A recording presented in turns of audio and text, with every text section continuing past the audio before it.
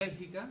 Eh, este está asociado a, a, una cuenca fluvial que tiene problemas también de marea y entonces se producen lo que son las tormentas de marea, que es cuando coincide una marea alta con lluvias torrenciales. ¿no?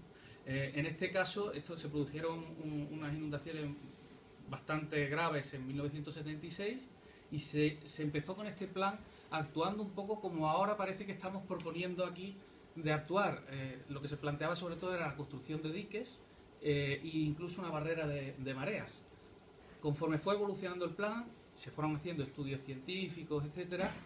Para empezar, se desechó la barrera de mareas, se decidió no hacerla y a partir de ahí eh, se empezó a trabajar eh, pensando que al final tampoco era buena idea la de hacer los diques y al final se transformó en un proyecto prácticamente similar al anterior de Holanda. Y todo en Europa todos los proyectos están yendo en esta dirección. Y de hecho por eso Europa defiende ese programa de infraestructuras verdes que lo que pretende precisamente eh, en el caso de los ríos es recuperar llanuras de inundación, espacio fluvial que sirva para amortiguar eh, las inundaciones,